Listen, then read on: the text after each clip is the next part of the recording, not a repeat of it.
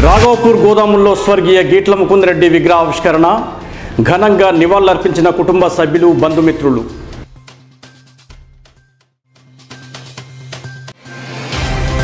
పెద్దపల్లి ప్రభుత్వ జూనియర్ కళాశాలలో ప్రకృతి ప్రేమికుడు సీనియర్ జర్నలిస్టులకు సన్మానం. హతిక్ తిరి తిరుపతులను అభినందించిన మార్నింగ్ వాకర్స్. ధరల పెరుగుదలపై డీసీసీ అధ్యక్షుడు ఈర్ల గరం. పెట్రో ఉత్పత్తులను జీఎస్టీలో చేర్చాలని డిమాండ్.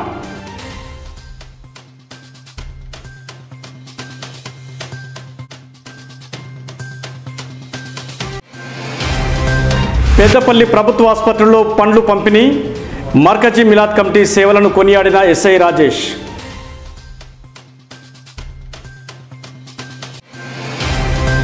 ఈ నెల ఇరవై ఒకటిన పోలీస్ అమరవీరుల దినోత్సవం రోజుకో సేవా కార్యక్రమం ఉంటుందని ఎస్ఐ రాజేష్ వెల్లడి.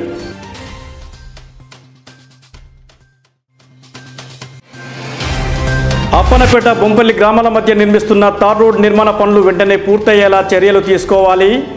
సంబంధిత అధికారులు ప్రజా ప్రతినిధులను కోరిన బీజేపీ నాయకుడు సందీప్.